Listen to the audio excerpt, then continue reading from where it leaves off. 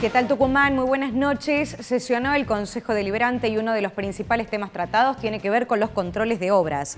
Varios temas estaban en el orden del día. Se analizó una ordenanza para aprobar controles en obras de construcción como consecuencia de la tragedia del ex cine Parravicini y el derrumbe. También la licitación de la línea 11, aunque este proyecto volvió a comisión para buscar mayor consenso.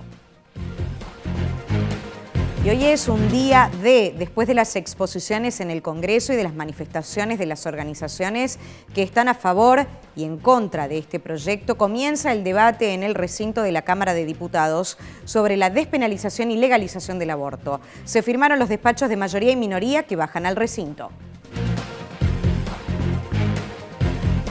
Y como siempre, nuestra invitación para que sigan con nosotros en la pantalla de Canal 8. Muchas gracias, buenas noches.